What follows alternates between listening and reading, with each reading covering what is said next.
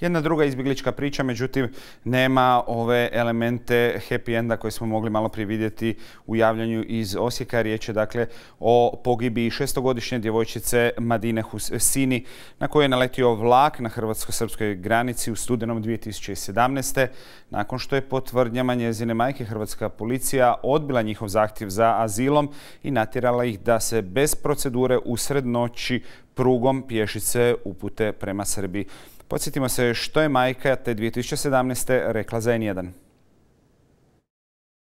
د کالوسیا پولیسو موږ سره ښه رویه ونه کړله ما ورته چې خیر نه ما د قبولي راکړه ما وړو وړو بچان دي ما په شپه کې بیرته مې ساره وه د رات ویله به نه زه نه منم بیا مې دې بچانو ورته وزړل دا وړوکی وړوکی ورته وزړله ما ورته ویل چې خان چې نه مې پرېږدي سبا ته بیا ما چې رڼا وي او د ما ماشومان موټر چې بعد له هغې نه چې موږ کاته کړلو چې موټر ودرېد راغله موږ پسې دروازې خلاص کړلې موږ یې راخوسې کړلو وایي زه دا چې دا داسې لاړ شئ نو دا پولیسو ته خو وخت معلوم و دا د ریل کنه چې زما ته ویل چې داسې ته لاړ شئ ما سره وړکې وړکې ماشومان پولیسان موږ ته ولاړ بودونه د بجلې موږ پسې رڼا کړې ولې باد لغې چې موږ زیاتې په دې پیاده روي باندې حرکت وکړ نو ما سره مې د کلان زوی وو هغه مې له لاسه نیولی وو دغه زوی سره مې دوه کلان وو چې دا ریل داسې تیر سو چې ریل ډیر وخت ریل وو. چې شمال یو کل شمال سره د ماته کلنه لور ولا هغه په د لاس وهله دلته ولا دلته ولا چې هغه چیغه کړله. چې چیغه کړله چې ما ورمنډه کړلې چې لور ته مې اوبه راوویستې اوبه مې په خوله کې ورکړلې ته مې ورته مدینه چیرې؟ مدینه. د زوی ته مې ورته ویل مالته ګروپ ولګوه. رڼا کا چې مدینه ورکه ده. چې ګروپ رڼا که چې ګوره مدینه د ریل څنګ سره پړ مخې خطا سوې ده چې زوی مې دا خولې داسې کړه بیا چې د ما د لور سر مات و له غوږه یې وینې راغلې وې له پزې وینې را روانې وې. پولیسو ته ورغله هغه پولیس ولاړ و پولیس بیرته راغلله و نجلۍ را جګه کوي نجلۍ هم چې بوتلله اتې دغه د ما واړه واړه ماشومان ټول بیرته حساب کړلو بوی تللو په مخه موټر کې کېنولو. بیرته دروازې را پسې بنده کړلې موټر ته حرکت ورکړ Madina je pokopana u Šidu, a hrvatski sudovi, hrvatska policija oglušili su se na sve zahtjeve odvjetnice Sanje Elavić koja je zastupala obitelji Centra za mirovne studije i ostalih organizacija civilnog društva koji su nastojali pomoći obitelji. Sud, dakle, u Hrvatskoj nije imao sluha da pače i jedan aktivist koji mi je pomagao osuđen je čak i gore nego što se osuđuju, na primjer, trgovci ljudima. Tako je slučaj završio i na Europskom sudu za ljudska prava. Tamo su pak zaključili da je Hrvatska pogriješila u nizu stvari. Za početak smatraju da nije provedena učinkovita istraga okolnosti vezanih za samu pogibiju. Prije svega je tu riječ o nefokusiranju ili neprovođenju nekih dokaznih radnji koje su bile potrebne. Druga stvar, Djeca u obitelji, kada je obitelj konačno dobila priliku zatražiti azil u Hrvatskoj, držana su u prostorijama zatvorskog tipa. Umjesto da budu e, kao obitelj s malom djecom smješteni u adekvatne prostore gdje se inače u Hrvatskoj smještaju obitelji s djecom, mnogi smatraju zato da bi se sakrilo od javnosti.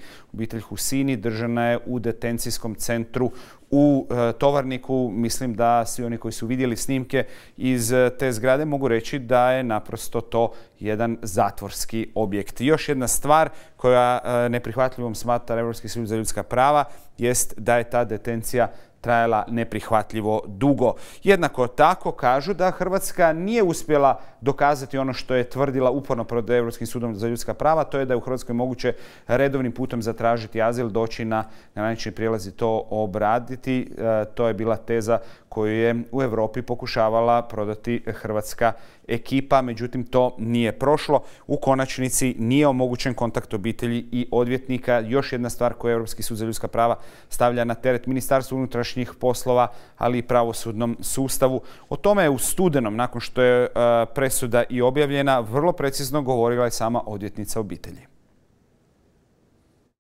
Kao odvjetnica sam bila izložena pritisku, ljudi koji su radili, u mojoj kancelariji su bili izloženi pritisku, pritisku su bili izloženi i aktivisti, kažem, Centra za mirovne studije, dakle ljudi koji su obavljajući svoju dužnost i svoj posao u skladu sa zakonom radili ono što u, pravnoj državi bi proizlazilo da trebaju raditi, su bili izloženi pritisku s ciljem da se onemogući rad na predmetu. Ulasci policijskih u odvjetnički ured, e, traženja e, od odvjetnika da se predaju originali punomoći e, od strane obitelji, reakcije Pnuskoka svaki puta kada se pokuša uspostaviti kontakt s obitelji s paralelnom izmišljenom istragom o tome da navodno nešto nije u redu sa punomoćima koje je dala obitelj je Europski sud primijetio ispravno da umjesto da se istraga svih onih koji trebaju vršiti efikasne istrage fokusira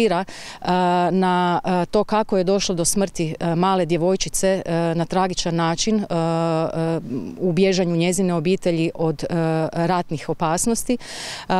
Se istraga kroz arbitrarni rad određenih policijskih službenika svela na izmišljanje vezano za potpis punomoći što je Europski sud e, kroz vrlo, vrlo detaljnu analizu utvrdio da se radilo o zapravo obstrukciji rada na predmetu, o onemogućavanju pristupa sudu e, i zapravo e, o teškim povredama ljudskih prava do kojih je meni prije ovog slučaja bilo i teško zamisliti da bi u našoj državi moglo doći. Dakle, jedan zanimljiv detalj s jučerašnjeg e, Američko-Hrvatskog foruma.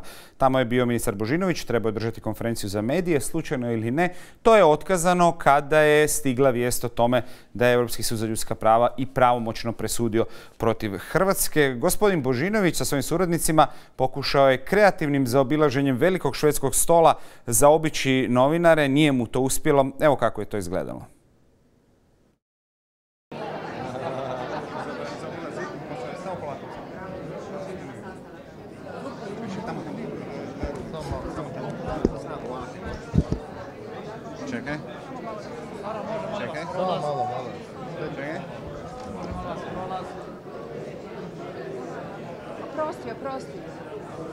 Može komentar, izgubila je Hrvatska na sudu za Možete li komentirati slučaj Madine? Nisam još, nisam još. Kako će Hrvatska reagirati? Ako je pravomoćna. Ministre, samo kratko. Na kraju je ministar Božinović ipak e, zastao i ipak odgovorio na naša pitanja, uz ostalo poručivši da e, njegova ostavka nije na stolu. Danas je pučka pravobraniteljica gospođa Šimonović Ein Walter govorila upravo o toj situaciji. Čut ćemo i kasnije što je ona ukazala kao probleme Hrvatske države u kojima se ona sada nalazi. O tome razgovaramo i sa gospođom Antonijom Pindulić iz Centra za mirovne studije koja nam se pridružila u studiju. Dobar vam dan, dobro nam došli. Dobar dan, hvala. Čuli smo i jučer priopćenje ureda Hrvatske, odnosno Hrvatske zastupnice pred Europskim sudom za ljudska prava. Prilično hladno čini mi se naglasak stavljaju na to da Hrvatska nije proglašena krivom za smrt djevojčice nego za propuste u proceduri. Čini mi se kao da institucije uporno zaboravljaju da je jedan dječji život izgubljen i da se fokusiraju na neke svoje pravničke doskočice. Pa upravo tako, to je ovaj, nekako hvatanje za one zadnje e, slamke spasa gdje se pokušava ono e, jako legalistički surovo ovaj, odlaziti u tako neke, neke detalje. ne, Hrvatska kao država ne može biti osuđena za nečije ubojstvo. To je jasno i ovaj, to po kaznenom zakonu nikada ne bi moglo biti moguće, niti je to Europski sud rekao, ali odgovornost države za nečiju smrt je druga stvar. I u ovom kontekstu je Republika Hrvatska pronađena kao odgovorna za kršenje prava na život malene djevojčice Madine Husini koja je tada imala šest godina do čije smrti kao prvo ne bi došlo da je Hrvatska policija radila sve po zakonu.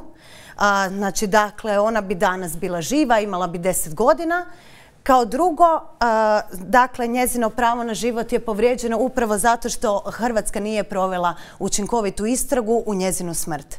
E, kad već govorimo o onome što je stavljeno na teret, možemo pogledati i e, koje sankcije, odnosno upute Hrvatska dobila. E, prije svega, osim odštete i akcijskog plana, tu je i potreba za novom kaznenom prijavom, istragom. Mhm. I to istragom koja bi morala sagledati sve dokaze. Koji tu su to dokazi koji su ignorirani do sada upornim istragama koje recimo je gospodin Klir iz Dorha uporno branio u Hrvatskom saboru? Pa evo, Evropski sud za ljudska prava u svojoj presudi našao da je bio ovaj, niz problema u toj istrazi, što je čini neučinkovitom.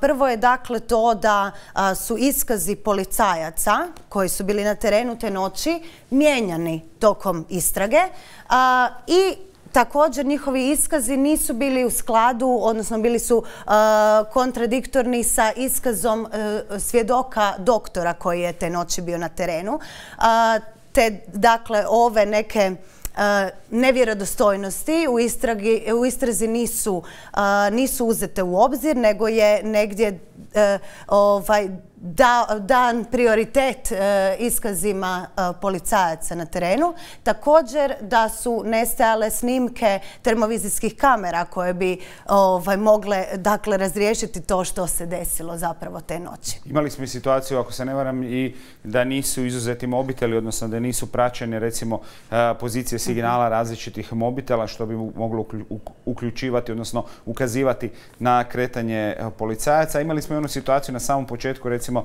e, kada se, čini mi se, zaboravio iskaz strojovođe e, iz e, kojeg je bilo jasno da su se djeca kretala iz pravca Hrvatske prema Srbiji, jer sjetimo se početne teze koja je bila da čitav incident nema nikakve veze sa Hrvatskom.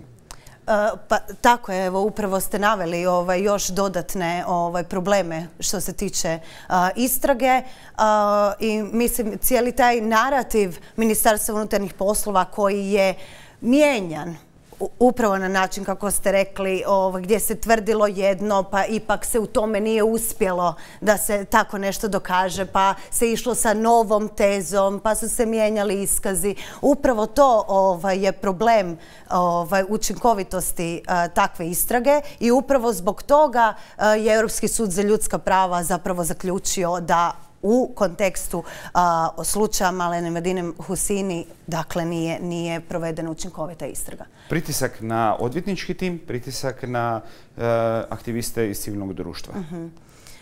pa upravo evo na način kako je to opisala i odvjetnica obitelji, ovaj, dakle u tom u samom slučaju Malene Madine Husini zapravo su aktivisti i odvjetnica bili izloženi strašnim pritiscima.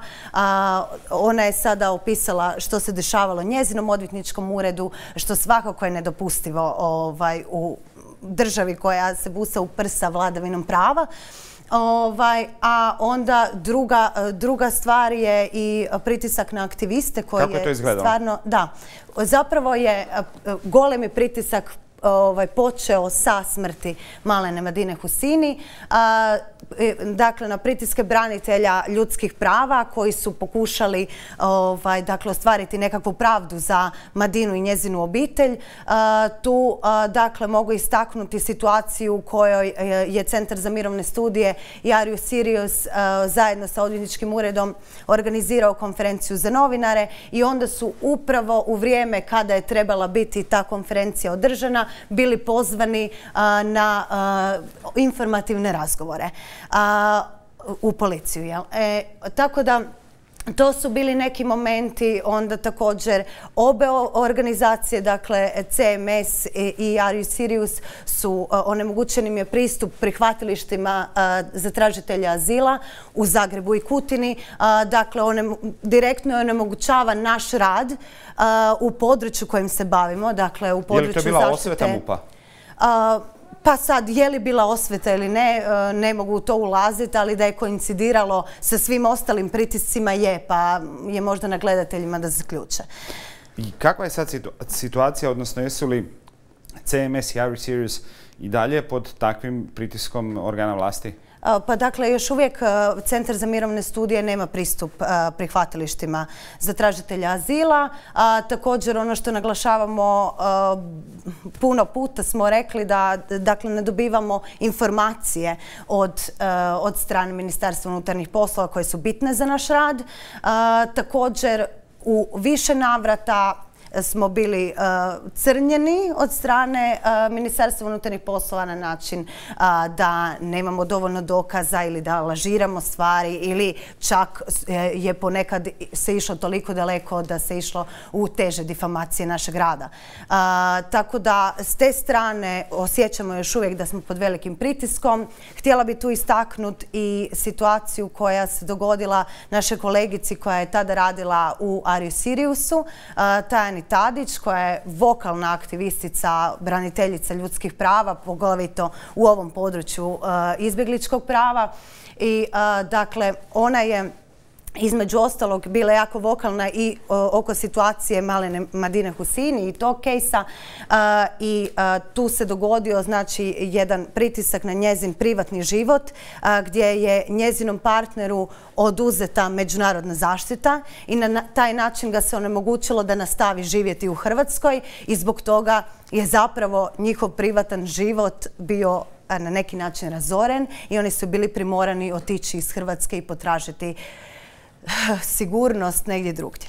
Kaže pravobraniteljica uh, Ajn Valter Šimonović danas, eh, nakon ove eh, konačne presude Europskog suda za ljudska prava postavljeni su neki standardi. Hm. Standardi koji uključuju nove protokole koji bi morali biti u praksi, akcijski plan koji bi trebao dokazati, jer kaže monitoring neće stati sve dok se ne uvjeri Vijeće Europe da je promjena doista i implementirana što bi to trebalo značiti i jeste li optimistični? Pa svakako taj akcijski plan bi morao donijeti mjere koje će ovaj sustav promijeniti, poboljšati, jer s ovim sustavom očigledno nešto ne valja, a ono što s ovim sustavom ne valja jest sustavno kršenje ljudskih prava na našim granicama.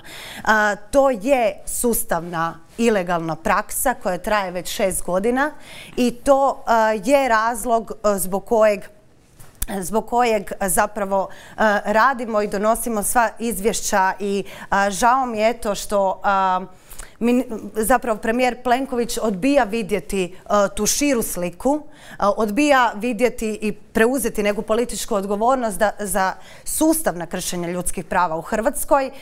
Mogla bi tu zaista navesti desetke a dvadesetke, ne znam kako bi to uopće rekla, znači cijeli niz dokaza koji pokazuju da je ovo sustavna praksa i da ovaj uzorak u postupanju kojeg smo vidjeli kod, u slučaju Malene Madine Husini se dešava svakodnevno.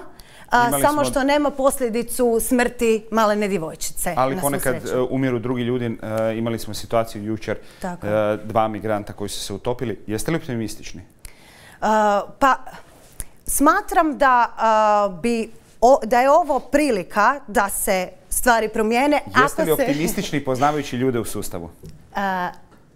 Pa optimistična ću biti ako, ako se dakle u svoje zahtjevi Centra za mirovne studije da se prvo smijene svi odgovorni i svi koji ovakav sustav održavaju jer bez takve smjene taj sustav se neće promijeniti. Pa ću biti optimistična ako premijer Plenković smijeni vrh MUPA. Puno hvala za danas. Antonija Pindulić iz CMS analizirala je presudu Europskog suda za ljudska prava u slučaju pogibije šestogodišnje djevojčice Madine Husini.